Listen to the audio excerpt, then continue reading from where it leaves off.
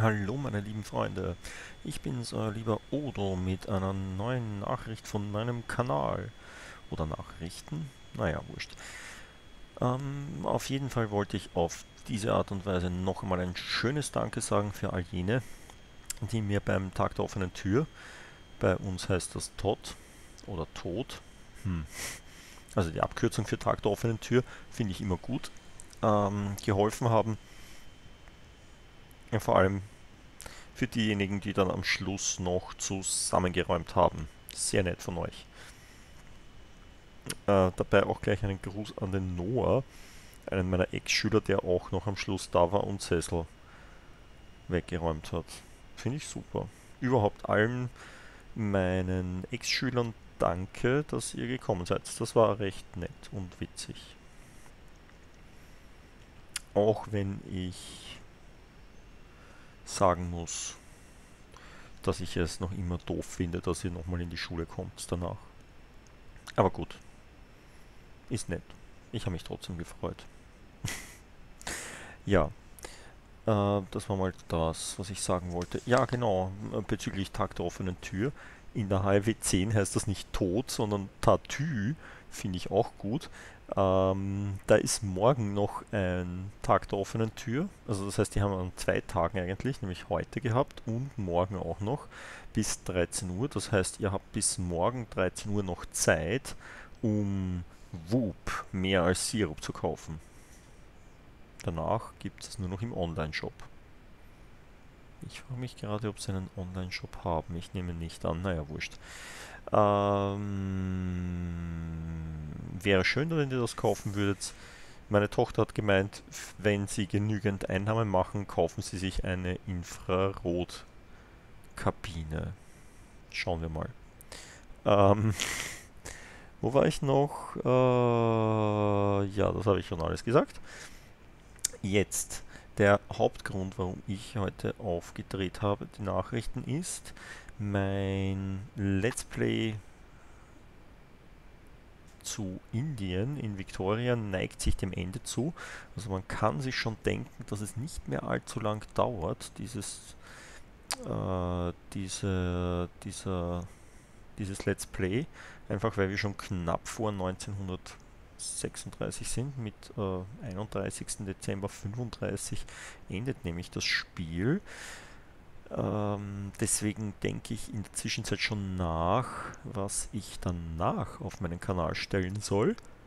Immerhin schaue ich, dass ich immer zwei Strategiespiele nebeneinander laufen lasse und tatsächlich habe ich da etwas geplant, worauf mich meine Frau gebracht hat. Die ist nämlich ein großer, großer Civilization-Fan, allerdings hauptsächlich von Civilization 2.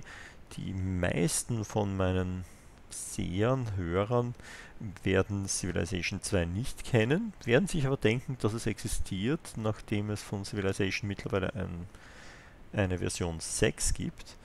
Ähm, ich weiß nicht genau, also wir spielen zu Hause hauptsächlich C5 derzeit. Ähm, und äh, Civ 2 ist aber sicherlich die Civilization-Version, die ich am häufigsten gespielt habe. Und meine Frau hat letztens gejammert wegen dem Civ 5, das äh, meine Kinder und ich spielen. Also sie spielt Civ 2 normalerweise, äh, weil sie meint, dass Civ 5 so langweilig sei im Vergleich zu Civ 2. Und weiß jetzt nicht, ob das so ist oder nicht. Auf jeden Fall habe ich mir vorgenommen, äh, dass ich einfach Ziff 2 und Ziff 5 miteinander vergleiche. Das heißt, wir werden folgen, oder ich werde jetzt folgendes machen. Ich werde jetzt immer etwa 10 bis 15 Minuten aufnehmen, Ziff 2 bzw. Ziff 5, beziehungsweise eigentlich gar nicht nach Zeit, sondern ich werde immer eine gewisse Menge an Zügen oder Jahren, vielleicht sogar noch besser, spielen. Und nach dieser äh, Zeit der Jahre werde ich das andere ebenfalls so lange spielen. Und im Endeffekt werde ich dann die beiden Videos zusammenschneiden. Quasi Runde 1, Civ 2 verglichen mit Civ 5. Und ich werde zu beiden Spielen vor allem am Anfang ein bisschen was dazu sagen und ich werde das einfach durchspielen und schauen, äh, wie die zwei im Vergleich sind. Tatsächlich sind sie schon relativ unterschiedlich und vielleicht macht euch das ja Spaß. Bei Civ 2 macht es keinen Unterschied, welches Volk oder welche Nation ich spiele. Bei Civ 5 macht es schon einen größeren Unterschied. An und für sich spiele ich lieber, spiele ich lieber sehr friedvolle Völker, einfach deshalb, weil mein Spielstil nicht sonderlich kriegerisch ist. Ich äh, habe deswegen auch vor, ein eher friedliches Volk zu spielen in Civ 5. Äh, bei Civ 5 habe ich zur Auswahl und da könnt ihr auch mitbestimmen. Ich habe da einen Zettel geschrieben. Ähm, und zwar Arabien, Österreich, Persien, Indonesien, Irokesen oder Maya. Äh, die habe ich so ausgesucht, es sind lauter Völker, die irgendwelche Spezialgebäude haben.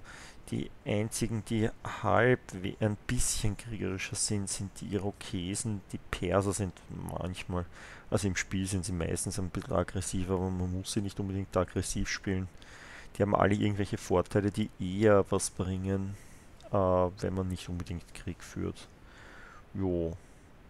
Ähm, ich schreibe euch unten in den Kommentar die sechs Nationen, die ich mir ausgesucht habe.